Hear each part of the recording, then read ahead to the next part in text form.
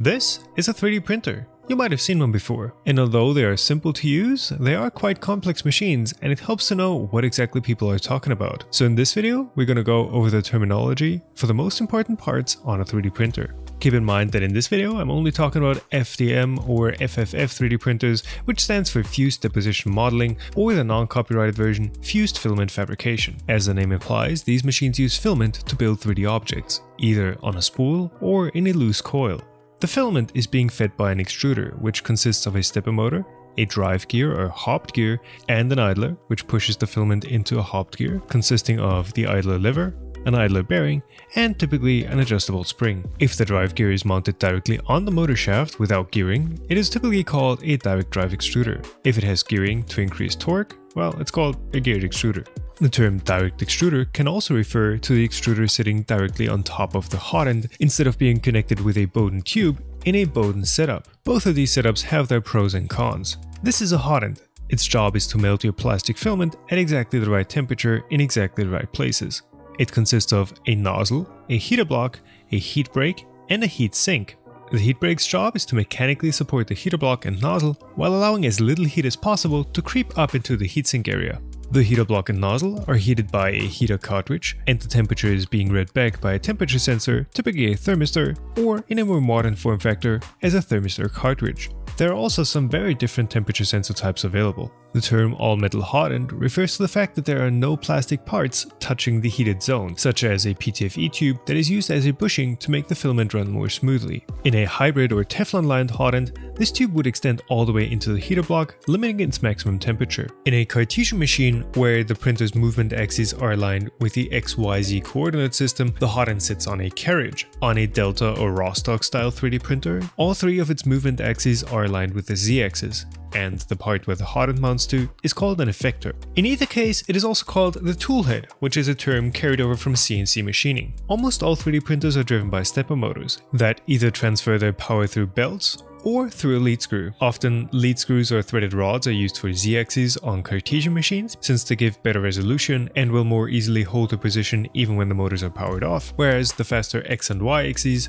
are typically driven by timing belts. What you see on the outside is just a rubber coating, but on the inside, they are reinforced by Kevlar, glass fiber, or steel strands. The most common size is GT2 2M 6mm. This specifies the tooth profile, the tooth pitch, and the width of the belt. This other belt is also a GT2 belt, but it's a GT2 3M 15mm type. Each axis runs on a linear bearing.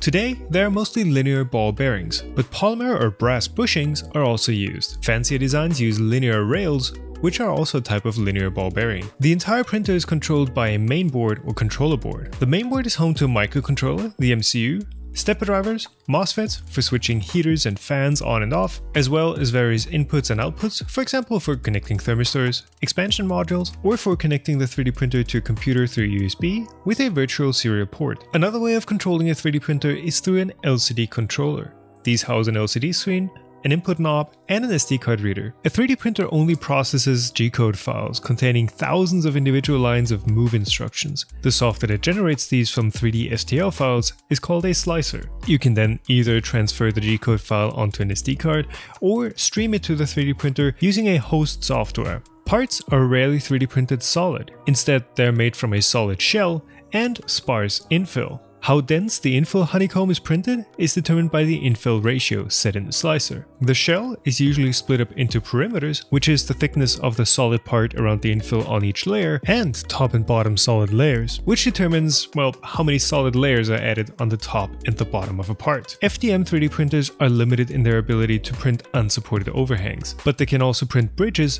which are unsupported vertical structures that are supported just on each end. For some prints you might need to use support material. This can either be breakaway support using single extrusion with just one material, or you can run it with a dual extrusion setup, printing the support material with a different filament that is easier to snap away or is even water soluble. With 3D printers becoming more and more of an ecosystem between the hardware and the software instead of just the machine by itself, prints often come out very impressively without any tweaking. However, some of the more common defects are the following. Warping, often seen with ABS when the entire part tries to pull itself off the bed. This is not to be confused with curling, which is a local issue that happens on the underside of very steep overhangs. If you see a very regular pattern along the z-axis of a print, that is z-wobble. If it's along the x or y axis of a print, it's ringing. You may also see over or under extrusion, where the extruder lays down too much or too little material. This is best visible on the very top layer of a print. Alright, so I think that should be enough to at least make you sound knowledgeable on Facebook or